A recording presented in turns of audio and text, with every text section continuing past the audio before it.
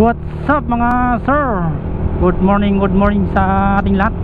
Eh, papunta na ako ngayon. Pupunta ako ng ano mga sir sa EP Cargo.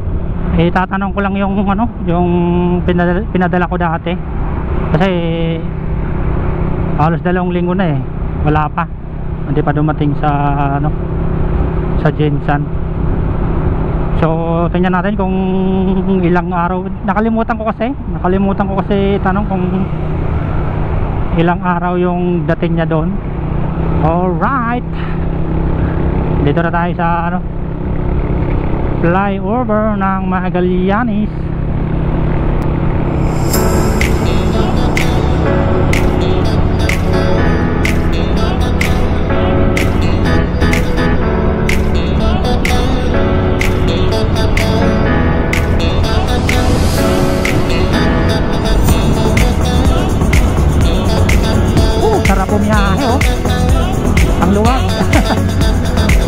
Masyadong sakyan mga sir. oh.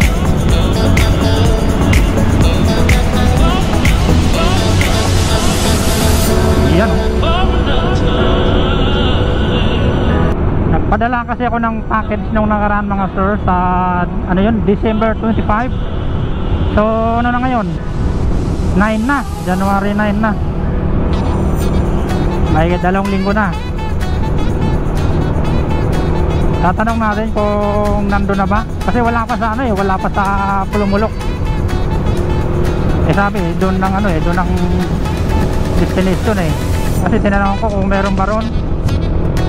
O sa Jensen lang. Sabi kasi meron eh Kaya doon na lang. Eh kaso wala pa. Tinanong ng misis ko Wala pa rin eh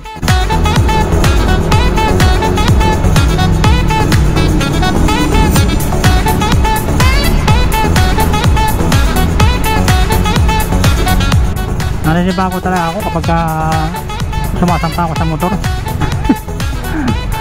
Tagal ko kasi hindi nagmumotor. Minsan umabot ng isang linggo. Ayan, lapit na tayo mga sir. Siguro tingin ko bukas na yan.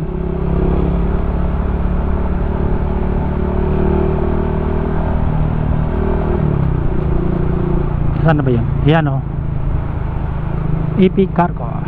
Yan mga sir. Ay, bukas. Bukas sila. Dito tayo dito sa no. May terminal 4.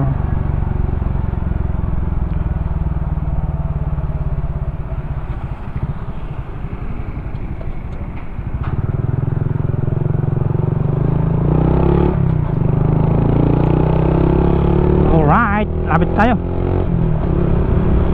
Dito na. Uh.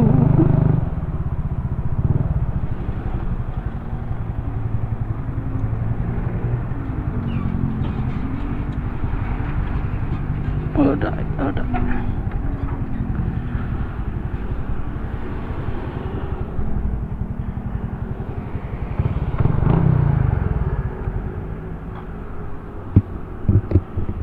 Okay.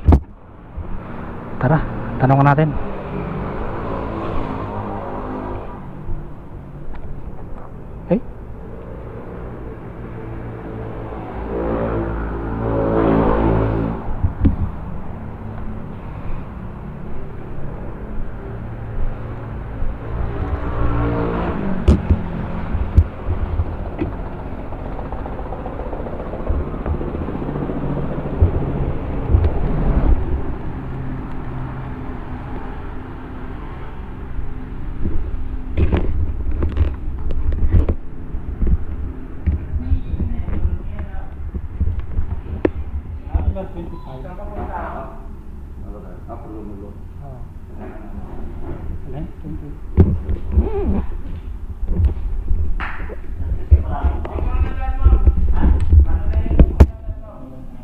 Bakit doon? Dumating siya ng 20, 27 nung pinadala, 25 siya, di ba? Ah. Naload siya ng 27. Dumating siya ng 31. Dineliver din siya ng 31. Di, baka tinawagan sila o hindi sila makontak kaya binalik ng Marbel yan. Oh my God. Dineliver na siya, kaya mo sir, pasok ka dito sir, para makita mo. Na, na process. Teka, baka ba? 25 mo pinadala, sir. 27 niloading yan. 31. A few moments later. Yan, pa uwi na tayo mga sir. Dinala na pala doon sa pulumulok nung ano mga sir sa 31. Eh sabi, baka raw hindi makontak yung message ko. Eh, kasi minsan mahina signal doon. So, ginawa. Binalik niya naman doon sa branch nila sa ano, Marble. Ang gagawin ko mamaya, ta tatawagin ko yung ano, yung Marble kung anong ano kung ano yung dapat gawin kung dadalhin ba nila sa pu- pulumulok ulit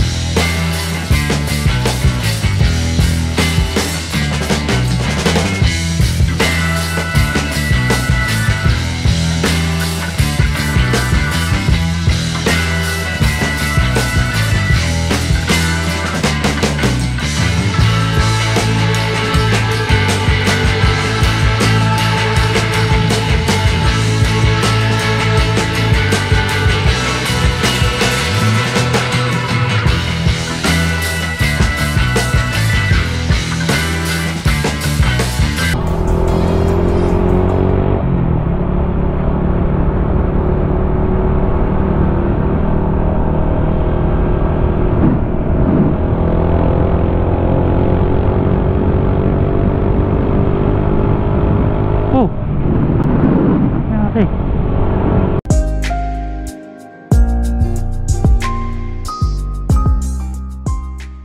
babae yun ah. Sus. Ba't kumano yun.